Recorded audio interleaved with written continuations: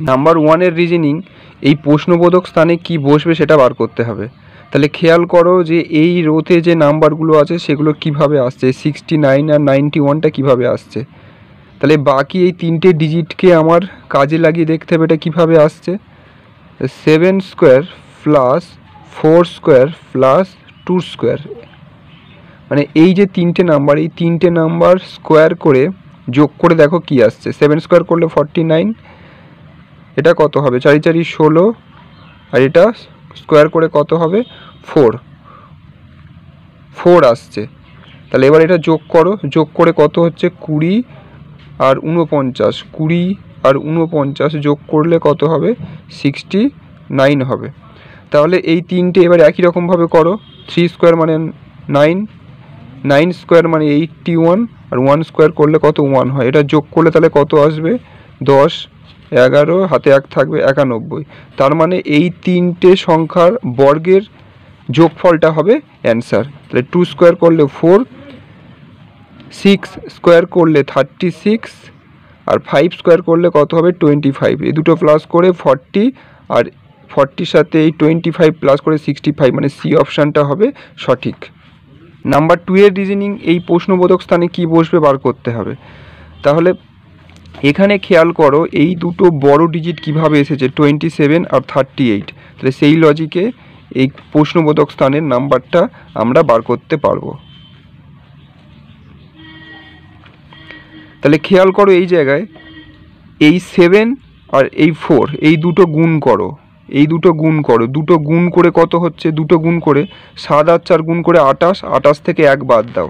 আটাশ থেকে এই ওপরের এই যে এক এক বাদ দিলে কত আসছে টোয়েন্টি সেভেন তাহলে এই জায়গাটা খেয়াল করো, এই এইট আর এই ফাইভ এই দুটো গুণ করে কত হচ্ছে? আট, পাঁচে চল্লিশ চল্লিশ থেকে এই দুই বাদ দাও। দুই বাদ দিলে কত হবে? চল্লিশ থেকে দুই বাদ দিলে আটত্রিশ। তাহলে এইভাবেই আসছে। তার মানে এই অ্যান্সারটা বার করতে গেলে তাহলে এই দুটো আমার গুণ করতে হবে। নয়, ছয় কত? চুয়ান্ন। চুয়ান্ন চুয়ান্ন থেকে তিন বাদ যাবে। তিন বাদ গেলে কত হবে? একান্ন। তার মানে সি অপশানটা হবে সঠিক অপশান। নাম্বার থ্রি রিজনিং, এই প্রশ্নবোধক স্থানে কি আছে সেটা বার করতে হবে। তাহলে এটা কীভাবে বার করব? প্রথমে একটা কাজ করো, এই দুটো ডিজিটকে গুণ করো। এই দুটো ডিজিটকে গুণ করে তিন দিয়ে মানে এই যে রো, এই রোয়ের নাম্বারগুলো দিয়ে ভাগ করো। ভাগ করে দেখো কি আসছে। তাহলে কি বললাম, এই দুটো ডিজিটকে গুণ করো মানে ফার্স্ট রো আর সেকেন্ড রোর যে ডিজিটগুলো থাকবে সেই দুটোকে গুণ করে থার্ড রোর যে ডিজিটটা আছে, সেটা দিয়ে ভাগ করো। অর্থাৎ একুশ আর এই এগারো গুণ করে যদি আমি তিন দিয়ে ভাগ করি, তিন দিয়ে কাটলে এটা কত? সাত। সাত আর এগারো গুণ করে কত? সাতাত্তর। তার মানে এই দুটো ডিজিটকে গুণ করে এই থার্ড রোর ডিজিট দিয়ে ভাগ করলে লাস্ট রো যেটা আছে, তার নাম্বারগুলো আসছে। তাহলে বাকিগুলোর আসছে কি? খেয়াল করে দেখতে হবে। টোয়েন্টি ফোর আর ফরটিন এটাকে আমি কি করব? এক্স দিয়ে ডিভাইড করব, কারণ ওখানে অ্যান্সারটা বার করতে পড়েছে ইকুয়াল টু ওয়ান হান্ড্রেড কত? টুয়েলভ তাহলে লাস্টেরটা আসছে কি আগে দেখে, তারপর এটা করা উচিত ছিল। তাহলে লাস্টেরটা আগে আসছে কি দেখে নিই থার্ট থার্টি সিক্স ইন্টু টুয়েলভ এটাকে ফোর দিয়ে ডিভাইড করি। ফোর দিয়ে এটা কাটলে কত? নাইন ন বারং কত একশো আট, তার মানে এই লজিকে খাটছে। তার মানে আমি এখান থেকে এই লজিকে এক্সের মানটা বার করলে অ্যান্সারটা পেয়ে যাব। তাহলে একটা কাজ করি, প্রথমে টোয়েন্টি ফোর টোয়েন্টি ফোর এখানে ফরটিন আছে। এটাকে সেভেন দিয়ে কাটি। এটা সেভেন দিয়ে কাটলে এটা টু হবে। এটা সেভেন দিয়ে কাটলে সাদেককে সাত, হাতে কত? চার থাকবে বিয়াল্লিশ, ছ সাতে বিয়াল্লিশ। এবার এইটাকে আট দিয়ে কাটলে হবে দুই, এটা আট দিয়ে কাটলে হবে তিন। এই দুই দুই কেটে যাচ্ছে। তার মানে এক্সের ভ্যালু হবে থ্রি মানে সি অপশানটা হবে সঠিক। ফোরের রিজনিং এই প্রশ্নবোধক স্থানে কি আছে সেটা বার করতে হবে।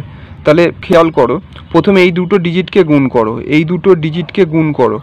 গুণ করে কত আসছে? টুয়েলভ আর সিক্সটিন দুটো গুণ করে কত আসছে? ছয় দিয়ে বারো গুণ করে বাহাত্তর। দুই এক। কত? ওয়ান নাইনটি টু আসছে। তাহলে ওয়ান নাইনটি টু এখানে আছে কত? এই জায়গাটা খেয়াল করো কত আছে? একশো সাতানব্বই আছে। তার মানে এই দুটো গুণ করে পাঁচ যদি যোগ করি, যোগ করে দেখো ওয়ান নাইনটি সেভেন আসছে। তাহলে এই একই রকমভাবে তাহলে এই দুটো গুণ করে সাত যোগ করে দেখো কত আসছে? ষোলো ষোলো গুণ করলে কত? দুশো ছাপ্পান্ন, তার সাথে সাত যোগ করো। সাত যোগ করলে কত আসছে? দুশো তেষট্টি। তার মানে এই দুটো গুণ করে কোনো একটা ডিজিট যোগ করলে কত হবে? থ্রি ফিফটি সিক্স আসবে, তাই তো? তাহলে আঠেরো আর কুড়ি গুণ করলে কত হবে? তিনশো ষাট। তাহলে তিনশো ষাট, তাহলে তিনশো ষাট ষাট তার সাথে কত যোগ করলে তিনশো ছাপ্পান্ন হবে? তাহলে মাইনাস চার যোগ করতে হবে। তাই তো? মাইনাস চার যোগ করলে কত হবে? তিনশো ছাপ্পান্ন হবে। মানে বি অপশানটা হবে সঠিক। এই প্রশ্নবোধক স্থানে কি নাম্বার বসবে? তাহলে দেখো এই যে ফোর্থ রো যেটা আছে, এখানে ফিফটি এইট এখানে ফিফটি এইট এখানে সিক্সটি টু তাহলে এই ডিজিটগুলো আসছে কীভাবে? আমি বলেছিলাম যে এই টাইপের যখন কোনো রিজনিং করতে বলবে, সবসময় বড় নাম্বারটা কীভাবে আসছে সেটা খেয়াল করবে। তাহলে এই যে বাকি যে তিনটে ডিজিট এই তিনটে ডিজিটকে আগে গুণ করো। গুণ করলে কত আসছে? তিন চারি বারো, বারোর সাথে পাঁচ, গুণ করে কত? ষাট। তাই না? তাহলে এই তিনটে ডিজিট গুণ করে এই তিন, চার, পাঁচ গুণ করে ষাট আসছে, সেটা থেকে দুই বিয়োগ করো। করলে দেখো ফিফটি এইট আসছে। তাহলে এইটার ক্ষেত্রেও দেখো পাঁচ, ছয় কত? তিরিশ। তিরিশের সাথে দুই গুণ করে কত? ষাট। তাহলে ষাট থেকে দুই বিয়োগ করলে কত আসছে? ফিফটি এইট তাহলে এটার ক্ষেত্রে দেখো আট, চারে কত? বত্রিশ। বত্রিশের সাথে দুই গুণ করলে কত হচ্ছে? চৌষট্টি। চৌষট্টি থেকে দুই বিয়োগ করলে কত আসছে? বাষট্টি। তার মানে এই তিনটে ডিজিট গুণ করে দুই বিয়োগ করলে অ্যান্সারটা পেয়ে যাব। সাত ছয় কত? বিয়াল্লিশ। বিয়াল্লিশের সাথে তিন গুণ করো। বিয়াল্লিশের সাথে তিন গুণ করলে কত? একশো ছাব্বিশ। একশো ছাব্বিশ থেকে দুই বিয়োগ করলে কত হবে? একশো চব্বিশ। তার মানে এই প্রশ্নবোধক স্থানে কত বসবে? একশো চব্বিশ। তাহলে লজিকটা কি হলো? এই তিনটে ডিজিটকে গুণ করে দুই বিয়োগ করতে হবে, করলে অ্যান্সারটা পাবো। তাই তো? এ অপশানটা সঠিক। সিক্সের রিজনিংয়ের এই প্রশ্নবোধক স্থানে কি বসবে সেটা বার করতে হবে। তাহলে এখানে কোন লজিকে অ্যান্সারটা বার করতে পারছি সেটা একটু খেয়াল করো। প্রথমে এই দুটোকে গুণ করো। এই দুটো ডিজিটকে গুণ করো। গুণ করে কত আসছে? চার, নয়, ছত্রিশ। তাহলে এই চার আর নয় গুণ করে ছত্রিশ আসছে। তাহলে তার বর্গমূল করলে কত হবে? ছত্রিশের বর্গমূল করলে কত হবে? ছয়। তাহলে এই দুটোকে গুণ করো। তিন আর সাতাশ। গুণ করে কত? একাশি। তাহলে একাশির বর্গমূল করলে কত হবে? নয়। তার মানে এই মাঝখানের ডিজিটটা কীভাবে আসছে? এই প্রথম রো আর থার্ড রো এই দুটো রো যে সংখ্যা আছে, সেই দুটো সংখ্যা গুণ করে তার বর্গমূল করে মাঝখানের ডিজিটটা আসছে। তার মানে এই দুটো গুণ করে, এই দুটো গুণ করে তার বর্গমূল করলে কত হবে? দশ হবে। তাই তো? তাহলে দশ দশ দশ সংখ্যাটা বর্গ করলে কত? হান্ড্রেড হয়। তাহলে এই জায়গায় আমি যদি এক্স ধরি, তাহলে টু ইন্টু এক্স তাই তো? তাহলে এইটা রুট মানে তো দশ। তার মানে টু ইন্টু এক্স সমান কত হবে? এটা কত হবে? টেন স্কোয়ার টেন স্কোয়ার মানে কত? হান্ড্রেড তাহলে দুই দিয়ে এটা কাটলে কত? ফিফটি তার মানে এই জায়গায় কত বসবে? ফিফটি বসবে। বা আমরা এটা এইভাবেও বলতে পারতাম যে দুইয়ের সাথে পঞ্চাশ গুণ করলে কত? একশো হয়। একশোর বর্গমূল দশ হয়। তাই তো? তার মানে ডি অপশানটা হবে সঠিক। নাম্বার সেভেনের রিজনিং এই প্রশ্নবোধক স্থানে কি বসবে আমাদের বার করতে হবে। তাহলে এখানে যে বড় ক্ষেত্রটা আছে, সেটা খেয়াল করো। দেখো এই জায়গায় কত আছে? ষোলো, তারপরে সতেরো, তারপরে আঠেরো আছে। দেখো এই ষোলোর সাথে এক যোগ করে সতেরো হচ্ছে, এই সতেরোর সাথে এক যোগ করে আঠেরো হচ্ছে।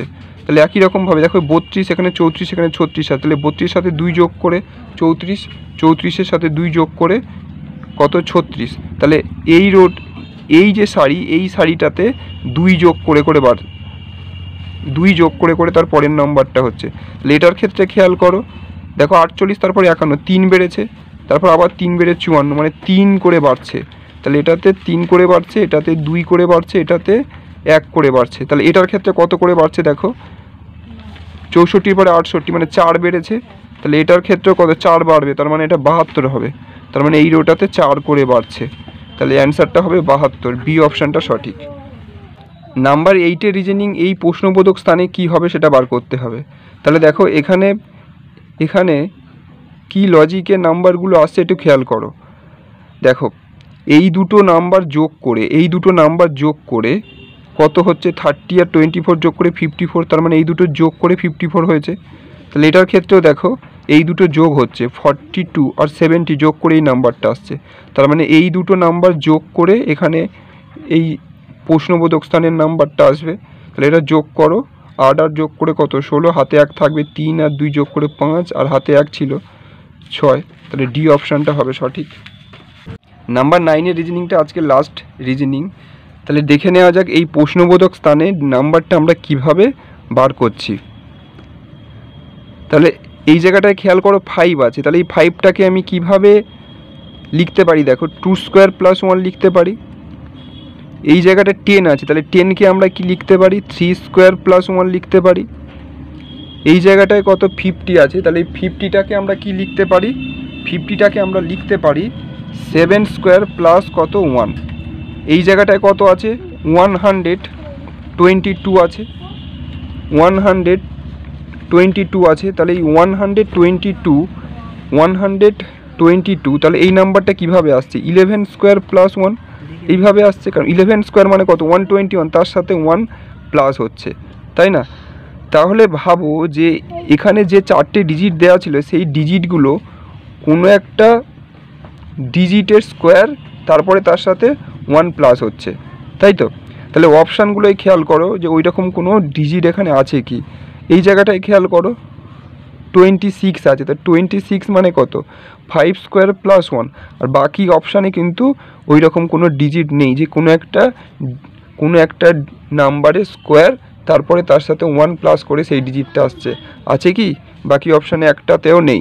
তার মানে ডি অপশানটা হবে সঠিক অপশান আজকের ভিডিও এই পর্যন্ত, দেখা হচ্ছে পরের ভিডিও